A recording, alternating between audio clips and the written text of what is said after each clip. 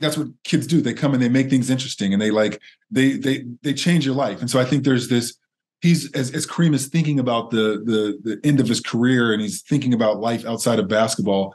Um, I think you know the child kind of like fast tracks that thinking in terms of like there's this other life, there's this, these, these other things that are happening that um that are like incredibly important. Look, guys, I've been anticipating this season for so long. I love this show, and it lived up to every expectation I had for it. Man, this show's brilliant. Um, Jason, first question for you. Uh, you guys won the championship. Well, you guys, the, they won the championship in uh, in the last season. Uh, how has winning kind of affected Paul White, uh, Paul West Westhead uh, in this season? Yeah, well, I think that Paul Westhead had a really unexpected triumph in season one and did something that he never thought he was going to be able to accomplish. And season two is about uh, if he has what it takes to handle that with grace and dignity, um, because that's a whole other that's a whole other part of this um, equation.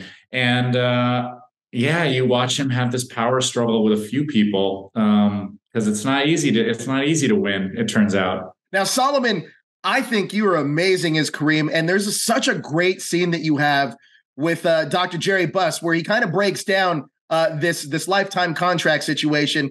Uh, can you talk to me about Kareem's uh, view of the organization uh, during the course of the season and how that kind of shifts and changes? Sure. I mean, you know, again, like it's the '80s. It ushers in this this this this era of stars, and and the game is becoming more popular. The money's getting bigger, and so I think you know he's he's kind of somewhat of the old guard, but he's experiencing these new these changes and and this new kind of owner. Jerry Buss was a totally different owner than you know than what he'd experienced or what the NBA had experienced. And so I think there's this uh, you know the t- there's the tension there, right? In that scene, it really kind of just spills out a lot of the things that kind of he'd been holding in his heart or that he was kind of figuring out for himself. And so I think I think yeah, there's this it's uh there's all these collisions in the show, right? Collisions in, in different philosophies, perspectives around eras, et cetera. And so I think that's a that's a, that's a major one. You have like this player who's like a classic NBA player, and this like this brand new kind of NBA owner, and mm. having it out in a skating rink.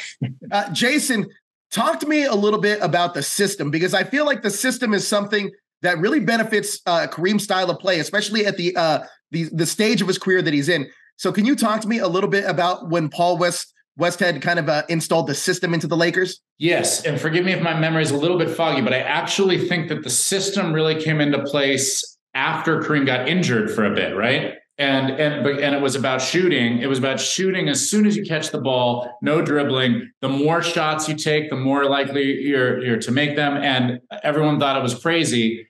I think in today's NBA, they are in a lot of ways now that it's become the three point game they're they're running versions of the system all over. Like those Warriors, I mean, they have a they're doing a lot of movement, but there's a lot of shooting. Um, so uh, maybe Paul was before his time. I don't know. He actually had success with the system in some of his other coaching endeavors, yeah. just not, not, in the NBA. LMU, I think uh, he he coached LMU, and they put up I, I, think the most points in NCAA at the time history. That's right. That's right. Yes, and I think he I think he ran it in Japan as well and it went it went pretty well. I could be wrong. Now, Solomon, uh, look, I think the basketball scenes in this show are phenomenal. It almost takes it's like take like I know what happens in the games, you know what I mean? I, I know history, but it takes you right there inside and, and you really get a feel for what the players were going through. Can you talk about the preparation you guys do to prepare for those scenes?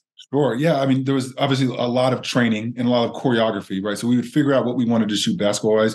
And then it was just reps, basically getting in like the practice gyms and kind of going through it with the incredible group of like background basketball players who showed up and just gave their their like gave their all every time.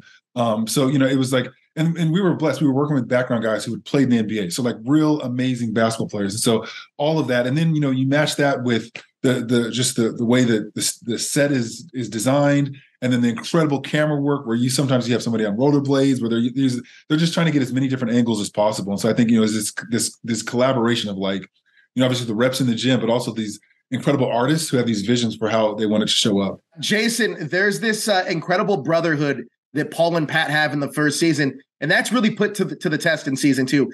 Can you talk about their relationship throughout the course of season two? It's really complicated because I think the reality of that dynamic, at least as it's portrayed in our show, is that um, they they they achieved something together, really side by side. Um, both of them trying to fill the gap left by uh, Tracy Tracy Letts' character getting in that terrible accident. And so they, they achieved this thing together, but Paul Westhead had the official title and he was um, in our show unable to sort of share. And whenever someone came near that title or asked for compromise or tried to challenge one of his opinions, he had a really hard time um, listening and hearing. And history shows us that Pat Riley turned out to be a basketball genius and uh, and I think that that was hard for Paul Westhead because he he finally wanted his due. Um, because you know even that first championship was Coach McKinney's championship from the public's point of view. Now, Solomon, one of the major themes throughout season two's fatherhood, um, we see it really affect a lot of different characters in a lot of different ways. Can you talk about how fatherhood affects Kareem in season two and his mindset on the team? I mean, it's like I think it's one of those things where similarly, you know, he'd he'd won a lot of championships, He, he'd won a championship. Sorry, you know, he'd had a lot of success, multiple MVPs. And then, you know, there's this newness with this championship with this new crew with Magic and and and the, and the coaches and the organization. I think fatherhood as well as you know this is a, this is not his first child, but yeah. it's a child that comes and it's like I think that's what kids do. They come and they make things interesting and they like they they they change your life. And so I think there's this he's as as Kareem is thinking about the the the end of his career and he's thinking about life outside of basketball. Um, I think you know the child kind of like fast tracks that thinking in terms of like there's this other life there's these, these other things that are happening that um that are like incredibly important and i feel like you know it, it has a positive impact on on who how he sees himself Winning Time season two is phenomenal. I can't wait for everyone to see it. I can't wait to revisit it myself. I'm already waiting for uh, Winning Time season three. It, this show is phenomenal. Thank you guys so much for your time. I really appreciate it. Thank you, man.